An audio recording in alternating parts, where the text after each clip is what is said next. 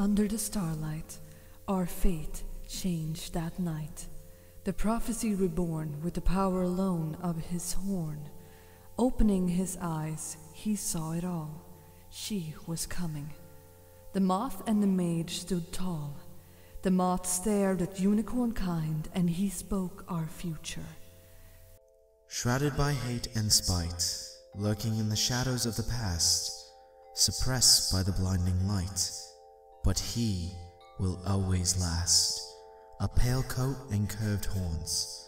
When the stars shine brightest, she is born. The mage's content face and the moth's prophetic words, our herd rejoiced. It was finally time. We are going to be free of this place. We are going to be saved.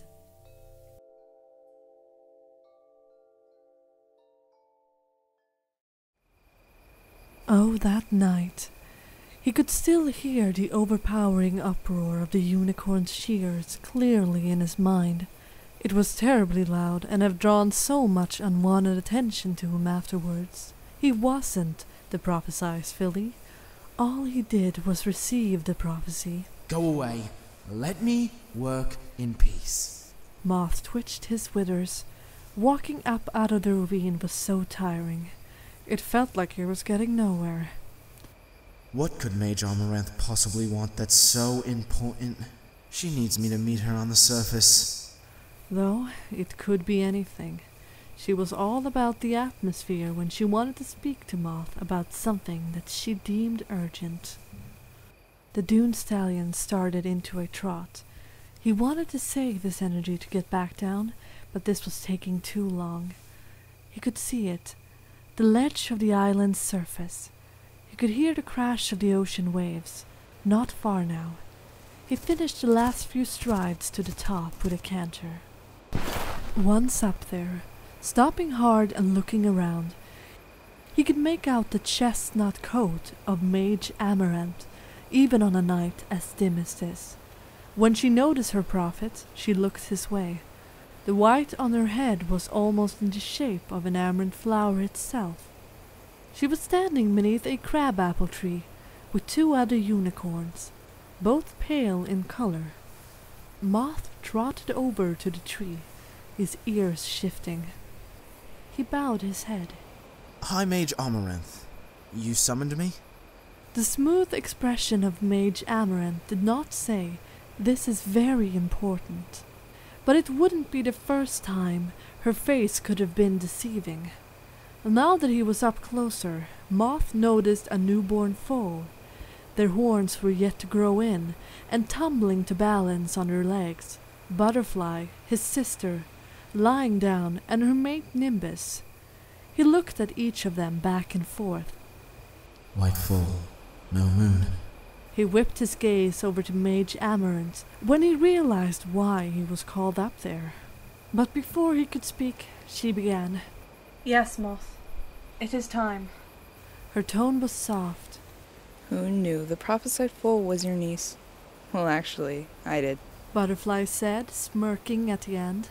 Moth's attention shot to the red dun mare. You knew? I was obviously the first to know. I can't tell you how many visions I've seen. She replied.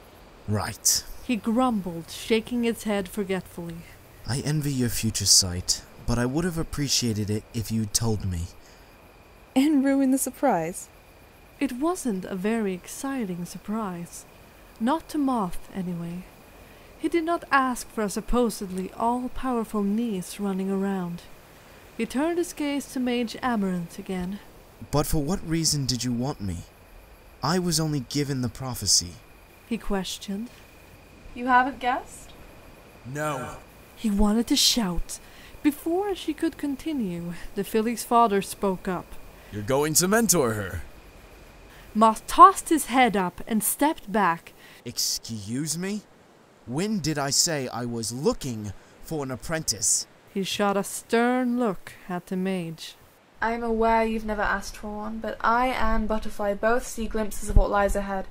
We think only good things can come from this. Answered Amaranth calmly. Or it could just be to torture me. He wouldn't put it past his sister. Why not an actual magic teacher? We just told you. When I've looked at you, I've seen flashes of the both of you. I've seen her as a grown mare, wise and level headed. Butterfly told him. It's not like you have to train her right now. You still have a few moon cycles of freedom. Moth looked defeated. So, I don't have a choice? I suppose not.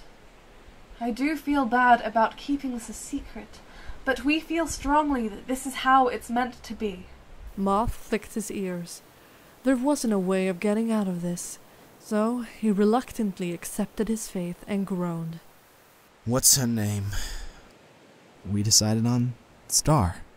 Nimbus, whose pure white coat looked exactly like the filly's, answered. A bit on the nose. After tripping and flopping around during their conversation, Star managed to hold herself up, swishing her tail and sniffing. She almost seemed surprised that she didn't fall down again. I know, but Nimbus was very passionate about the name. How could I say no? Butterfly said. Moth took a breath and stood on his hooves firmly. He met the mage Amaranth's face with his.